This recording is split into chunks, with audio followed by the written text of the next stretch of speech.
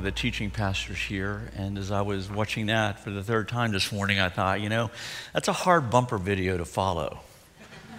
you feel like, okay, so let's pray and you can go. It's very powerful. Thanks for being here this morning. Uh, for those of you that are online and decided not like these faithful people to brave the rain and come out. I hope you're enjoying your coffee right now. Love that you're here this morning. Thought to myself um, that in John 1 it says that Jesus was a light and the darkness will never overcome it. So, if any of you have been in a dark place this week or feel like, you know, I'm not sure if I'm seeing really clearly what the future is, the Bible says that Jesus is the light and the darkness has not overcome it. So there's this balance between using the minds that God gives us to think our way sometimes out of a situation and not just feel our way out of a situation, but at the same time, be worshiping the Jesus who's in you. Because sometimes the answer to our issue or our darkness is not so much the fix, but just Jesus just Jesus.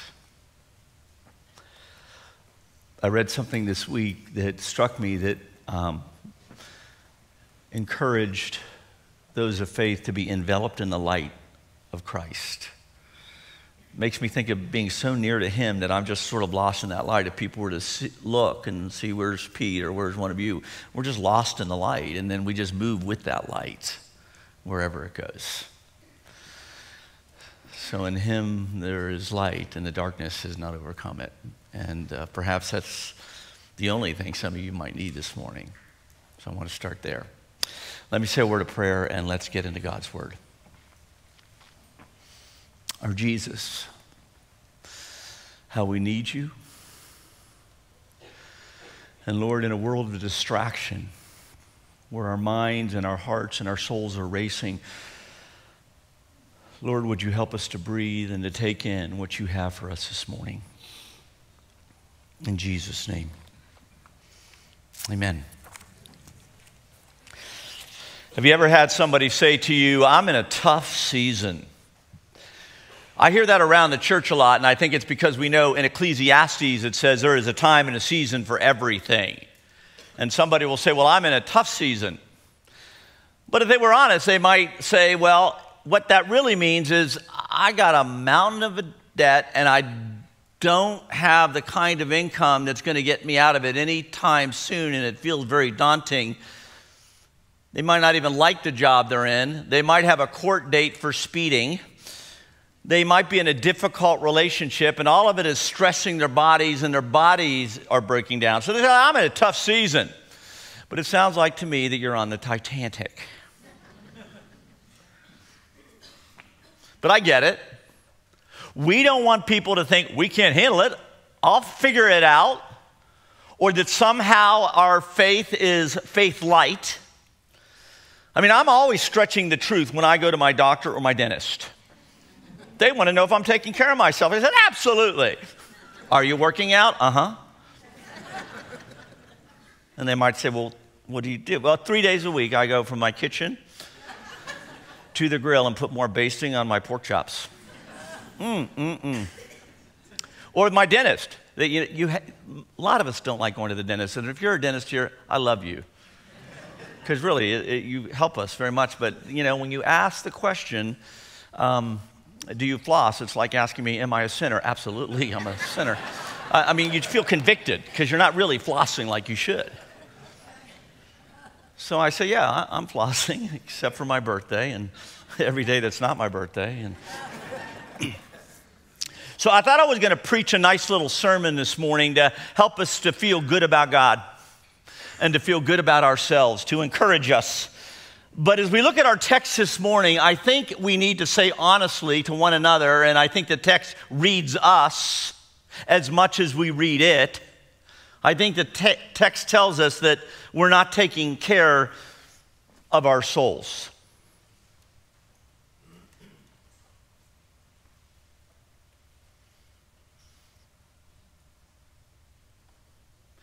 If we're honest, we're not well.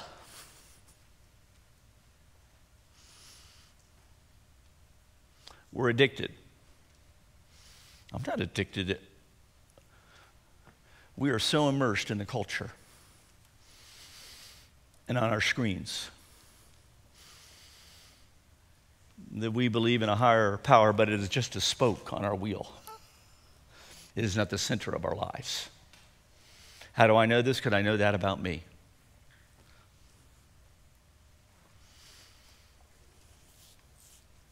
We live anxiously. We, we, we live at a frenetic pace. Oh, we, we may have a day off and walk the city like I did yesterday, and it's a nice day, and there's a lot of people out, but our minds keep racing. And it's hard to find stillness interiorly. And the sages and the counselors of this day say, well, go have fun and, and gratify, gratify your human desires. I heard an ad the other day that said, hey, you know, you can refi your house because you can then pay off your credit card and get ready for Christmas. I thought, man, I want to hit that guy. so we can get in more debt.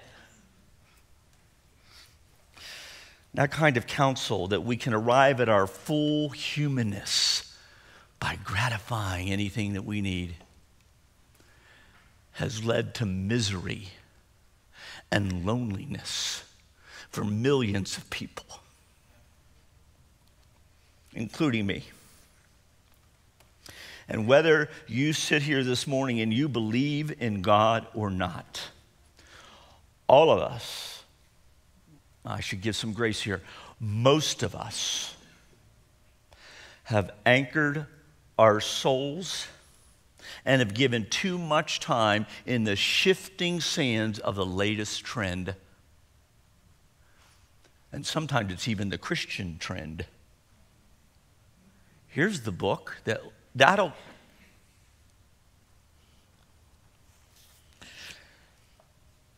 the superficial things in our society and coming into a body of people like this once a week is not enough to hold you in the depths. A divided soul is a defeated soul, it's not neutral. And I think we need a doctor. So I want to look at Jeremiah this morning, an Old Testament prophet. I'll call him Dr. Jeremiah for us.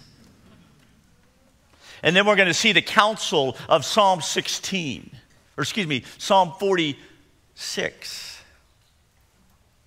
that affirms what Jeremiah is saying. See, Jeremiah was a soul doctor, he was a prophet. And most Old Testament prophets, people did not like because they were saying things to the people that just was going against the grain of the culture, against the grain of the society, and they didn't like it.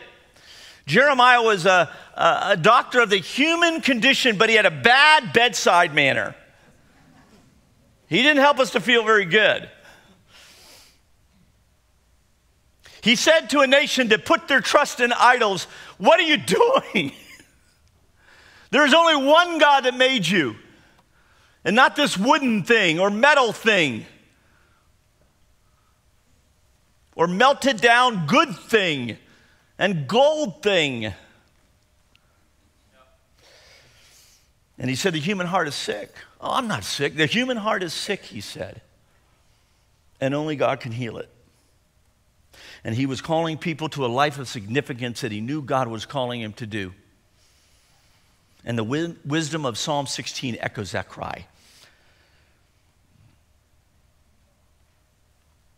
I think in our culture we have too many celebrities and we don't have enough saints.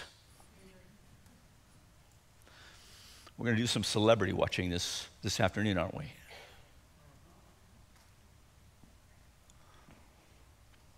Listen to what Jeremiah says to his people. And not just people 2,000 years ago, but for us today. I'm going to set it up by a little bit of um, a text that's before the text we're going to read that's in your worship guide and on the screen. If you have your Bibles, you can open up to Jeremiah 6. And Jeremiah sets up what he's about to say by saying this The prophets of the world practice deceit. Uh, so, so like this was written a long time ago. You might think, oh, that was that's you know that's kind of poetic. And he said, no, no, let, let, let's put it in our day. The prophets of the world practice deceit.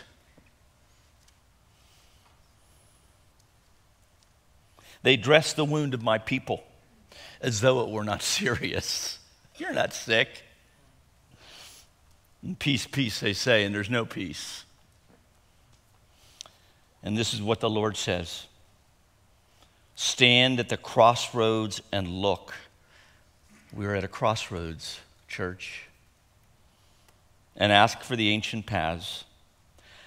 Ask where the good way is and walk in it. And you will find rest for your souls. but you said, Nope. We won't walk in it. No, we'll give it a day, a week. We'll give it a few hours. But to live a life of sacred rhythm, mm-mm. too much. So, what do we believe? Then, what is our way of living if it's not enveloped in the light of Jesus Christ? We're in a series called Sacred Rhythms. We're calling people of faith and we're calling people that are exploring the faith to say, put your, put your chips in on a God who loves you. Because we believe that the contemporary things in life are not enough to hold you in the depths. I was reading before coming in this morning a little book called The Preacher's Catechism. And in the chapter that I was reading this morning, it talked about loving people well. And I thought, Lord, I don't know if this message is consistent. I, I do want to love people well, but it feels like a, a message of, of judgment from Jeremiah. But even as we consider that, I think you want somebody to tell you the truth. You want people to say, I love you. I love you. And it makes me sad that my soul and our souls are so divided. And I think there's so much more. I think that God is calling us to a life of significance and we're missing it. I don't want to miss it. I think at the end of life, we say things that we wish we would have done or we want to do or we express our great love for people and that's how we should be living every day. And for me to say that and for you to leave here and feel like okay I'll, I'll, I'll try to do it again that doesn't work. We know it doesn't work. So what we can do is pray for one another. I'm not under any illusion that some inspirational message will change a person's life because we're so engrossed in the patterns that we are. So we need to pray for one another. That's how revival comes, that's how renewal comes, not through more strategy, but through prayer. I'm trying to establish some rhythms where we stay near to Jesus. I mean, our Apple wristwatch that many of us have, or our, smart, our smartphones, they can tell us a time, they can send an email, we can make a phone call on it, we can connect on social media, but it can't tell us how we're doing in life, or what season of life you're in, or why all these images are making me still feel so lonely. They can't tell us when the pain will end or where to find real hope. We live busy lives, friends. And if we're not thoughtful, if we can't just sit still and be a person, which is really hard for me to be, then we'll get caught up in the unreflective river of this culture. And we're going to miss beauty. We're just going to miss it. And we're going to miss knowing that God said, who created the world, that He put creativity in you, and you're going to miss something that He has for you in a moment when you notice a person walking by and you say something or you see something. And this is why they call it spiritual discipline, right? Because it's a discipline. It's like we need to put guardrails back up for our soul. All of us are just driving off the Bay Bridge into the water.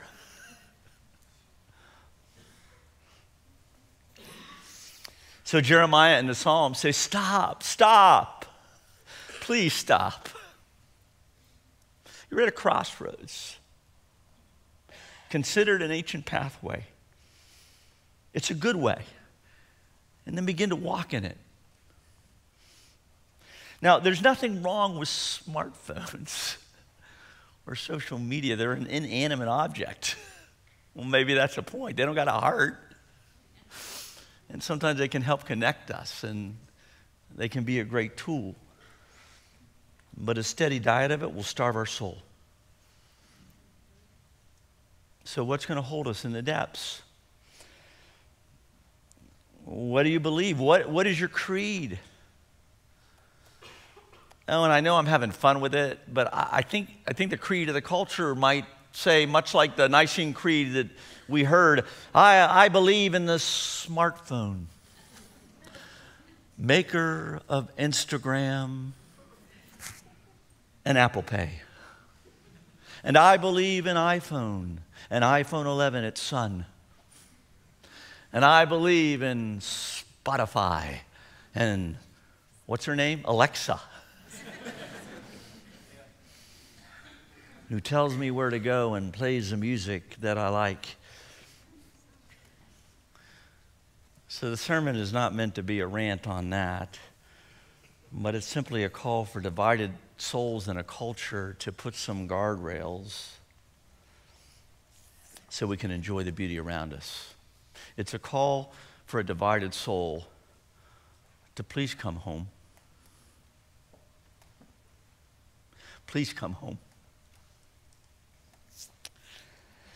Because in our age, in this age, and you never know when the headline will hit, or the tragedy hits in your own family, or you get the diagnosis, those things are not enough to hold you in the depths.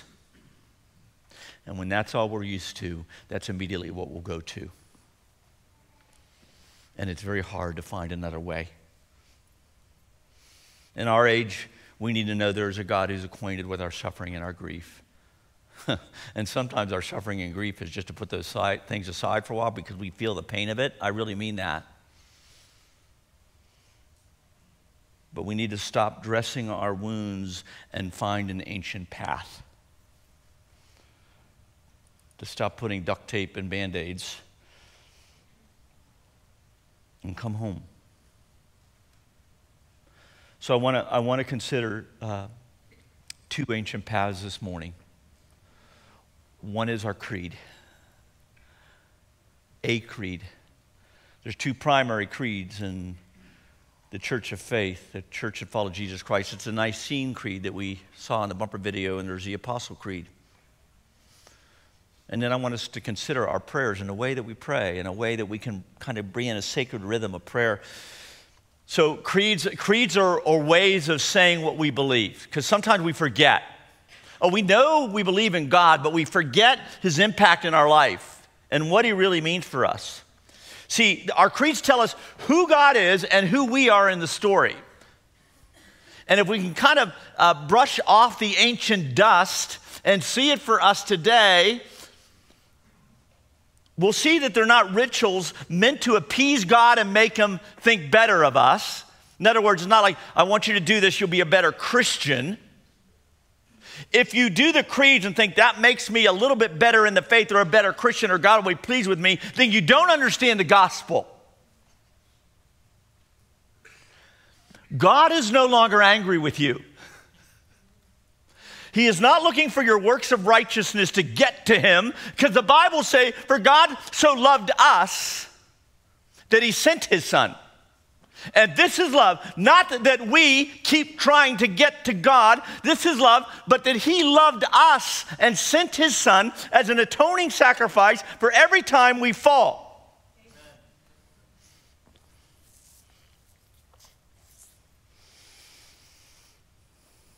If we think of creeds as a way of getting to God, then we don't understand the gospel. The creeds are not obligations to put us in right standing with God, but they are invitations to declare what you believe, to clean out the mess, to clean up your room, to put the stuff in the drawers and say, okay, now I can see again. They're an invitation to declare what we believe and to live in the radical grace of Jesus Christ. And all it becomes is more fuel for your fire, not a way to get to God. So, the creed we heard before this message is a Nicene Creed. The church, the early church in 325 AD, after the death and resurrection of Jesus Christ, they came together to write the Nicene Creed because there was this weird thing in the gospel. They kept talking about the Father and the Son and the Holy Spirit. So they wanted to put it together and say, We believe in the Trinity. We believe that there is one God, but he expresses himself in three people the Father, the Son, and the Holy Spirit. The Nicene Creed does that, it reaffirms that. But today I want to look at the Apostles' Creed. It was not written by the apostles, but again, about 300 or 400 years after the apostles, it was a summary of their teaching written by people in the early church. It's like the whole New Testament wrapped up into one idea. So if you're not a big reader, just memorize this. You got the whole New Testament basically. And behind these words are 2,000 years of people of faith, of Christians, saying, I believe in something that will hold me in the storms. In saying these creeds, we are connecting with the God that the people in China, the people in Western Europe and Eastern Europe and Africa and Asia, all over the world have connected with God in this way. You may go into a church somewhere else in the world and not understand what they're saying or not understand the, the, language, but somehow you begin to recognize wait a minute, this sounds like, in the rhythm of it, a creed. I know this creed, I can say it in my language. It's like being here at Hope, and some of you guys, especially, we sing these songs and the notes go up in the air like, oh, and so you stop singing, but then they come to the hallelujah part, like, hallelujah, and you can connect. And that's what the creeds do. It's still used in most churches around the world. And it goes like this, and I'm going to put some commentary in it so you understand the pieces that might be a little bit like, whoa, what's that mean? Okay? So, a declaration of what we believe, not a way to get to God, but a way to be catalytic, to fire up who God is in our life. So I believe in God the Father Almighty, maker of heaven and earth. That means I don't believe that I created myself. That means I believe somebody was behind the Big Bang that created everything. And I believe that He's a personal God. I believe in God the Father Almighty, maker of heaven and earth. So when I sometimes think, okay, Creator, who created me, I'm not sure you know what you're doing. It puts God on the throne and me serving Him.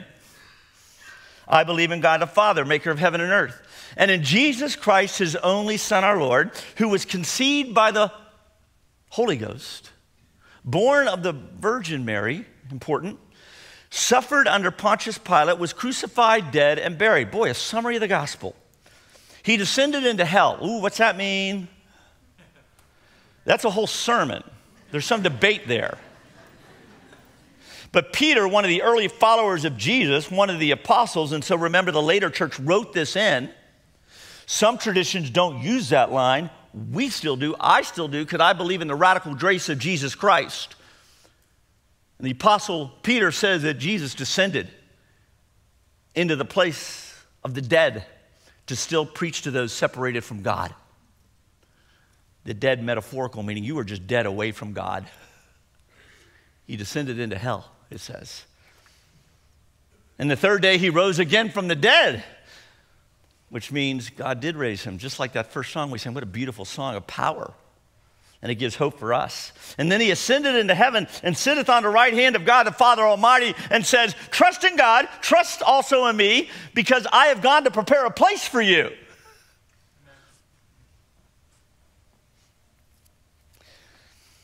And then he sitteth on the right hand of God the Father Almighty. From thence he shall come to judge the quick and the dead. And I believe in the Holy Ghost. In other words, that he is present, he is in us, he is around. And the Holy Catholic Church. The word Catholic here, as they wrote it, is coming from the Latin, meaning concerning the whole or universal, not the literal Catholic Church.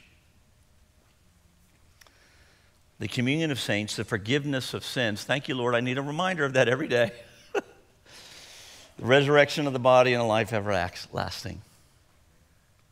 All right, so for those of you that are new with us, for, for those of you who are thinking, okay, he's a little intense this morning, I'm going to give you a break. I'm going to let you breathe, and I want you to stand up. Now, give a back rub to the person. No, I'm just kidding. That's what we did in student ministry. We're not doing that this morning. It's inappropriate. I've been told that by our HR. All right, so um, you may be new in faith, you may not believe these words. Um, so thank you for standing, and you don't need to say them, but if it's something that you can express belief in, listen as the rest of this body um, says these words. We're going to say the Apostle Creed together. Okay? All right, church, here we go. I believe in God the Father Almighty, maker of heaven and earth, and in Jesus Christ, his only Son, our Lord who was conceived by the Holy Ghost, born of the Virgin Mary, suffered under Pontius Pilate, was crucified, dead, and buried. He descended into hell, and the third day he rose from the dead. He ascended into heaven and sitteth on the right hand of God the Father Almighty. From thence he shall come to judge the quick and the dead. I believe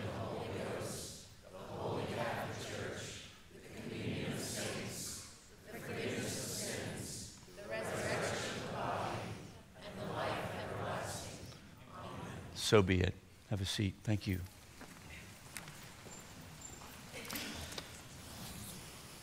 Okay, if you're, I don't know, let's call it 30 or under. Last service I said 21 and under, and all the U of R students were like, well, I'm, you know, I'm like 22, I'm in between. But if you're 30 and under and you're a little newer to the church, or you're newer to the church, here's why the creed's important. Okay, we just talked about how it connects us with God, but it does sound a little ritualistic. It, it's not, it's powerful. So here's why the creed is important.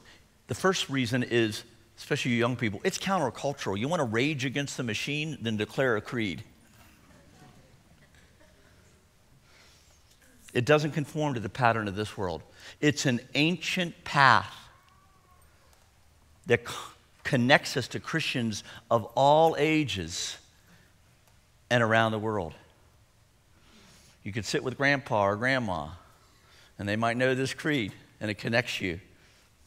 It points us to a cross and says, You're going to find meaning in your life, not by just trying to get everything you need and get into the right schools and do all that kind of thing, but it points you to a cross that says, Okay, to find my life, I've got to lose it in Jesus. Remember, we talked about, hey, let's, maybe the answer is not all the rationale, but just getting near to Jesus and letting Him lead us.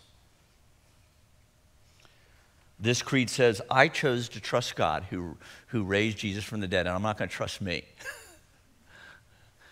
Because everything I create keeps falling down. And then the second thing that this creed does is it makes a stand. It summarizes what we believe instead of what we want to believe. It says, From thence he shall come to judge Oh, that's not a nice word today. Don't judge anybody. In a world of evil, somebody needs judging. And the one who made the heavens and the earth will redeem everything. And he will forgive our sins, but he will judge evil.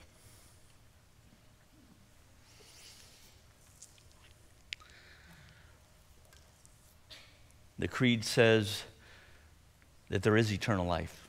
and miracles can still happen. And finally, this creed points us to Jesus, and, and Jesus is pretty cool. He's the Almighty God, He's a wonderful counselor. The creed reminds us that we're not alone, but we're in a communion of saints. And the real centerpiece of the creed, it's not a doctrine. Uh, listen, the, the real centerpiece is not a doctrine or a certain way that this denomination believes. The real centerpiece of the creed is a name. And at the center of this creed is the name of Jesus and there is life in that name.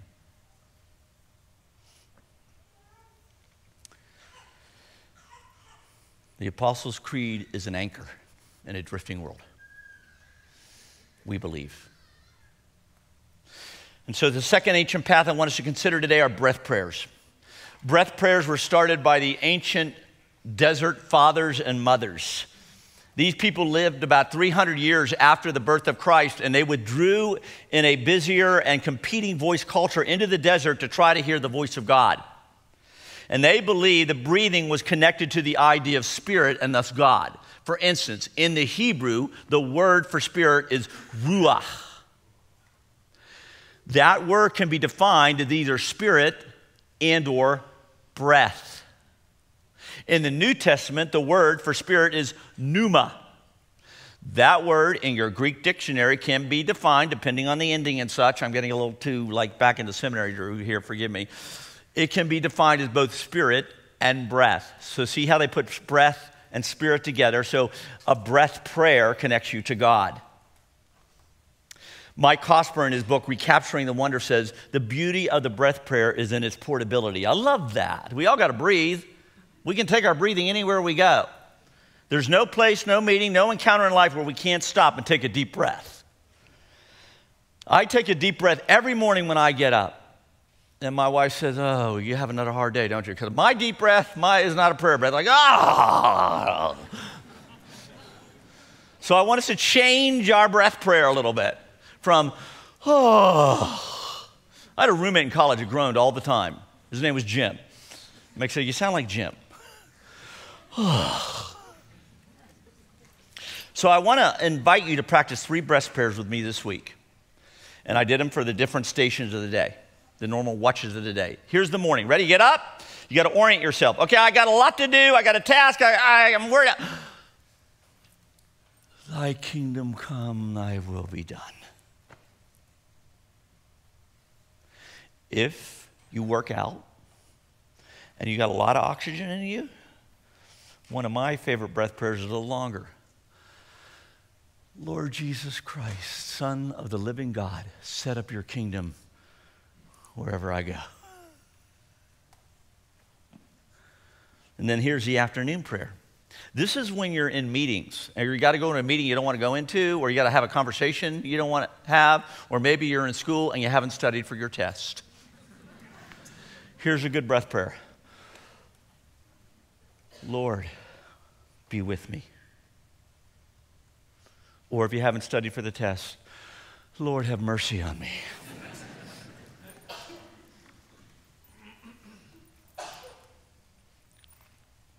Another prayer like this, especially if you're in the real world of real difficult meetings in your workplace, be still and know that I'm God. And then finally at night, I woke up last night, couldn't go back to sleep, so I started to practice the breath prayer. It took me about a half hour. Lord, I'm tired. I need rest. Lord, I'm tired. Give me rest. Lord, I'm tired. Give me rest. That's out of Matthew. Come to me, all you who are weary and heavy laden, and I will give you rest. See, a breath prayer keeps our day from getting away from us and reminds us that we go nowhere by accident. A breath prayer is like throwing a rock in a calm body of water and seeing the concentric circles go out and affect every part of our day. It expands God's work in your life. It's a spiritual rhythm that you can take to work or to school or around the house. Now, in the last two services, I said the Apostle Creed and the breath prayers are available at the Connect desk, but obviously a lot of people needed to breathe, so they took them all. There's none left. but they are available online, and we'll have some more here for you next week, okay? They were just, they're just little cards, I mean, portable, so you can have them, both with the Apostle Creed and the breath prayer. Maybe you want to add your own breath prayer to the list. Maybe you just want to write a couple down when you get home today, like, Lord, help the Nationals. Lord, help the Steelers win on Monday night. That's called a sinner's prayer. That's, that's not really a breath prayer. Okay, let me close it up. Last Saturday morning, when she was here at the last service, I did a baptism in the James River. We're not preaching through the baptism in this series, it's a, but it's an ancient practice. It was for Laura, a mom with young children who was headed to MD Anderson in Houston for life saving surgery. She wanted to be baptized, and it was important for her to be baptized. When life feels fragile, we need to know there's a greater power within us So we went to the river with a communion of saints, her two young children, and her husband. And it was cold. but when I mentioned it to her, she said, I want to feel it deep in my bones. Laura wanted to experience an ancient practice to remind her Jesus would hold her in the depths. And there may be some others here this morning with a difficult diagnosis or whatever it would be, the sacred rhythm, the breath prayers, the creed are not magic, but they remind you that Jesus is very near. I think Jeremiah's voice speaks loud and clear to us today. We're at a crossroads. Stand at it. Look for an ancient path. Ask where the good way is and walk in it and you will find rest. Lord, give us rest for our souls. I believe. I believe in God the Father, maker of heaven and earth, and in Jesus Christ, his only begotten Son and I believe that God raised him from the dead. And it's never too late for me. Let's pray.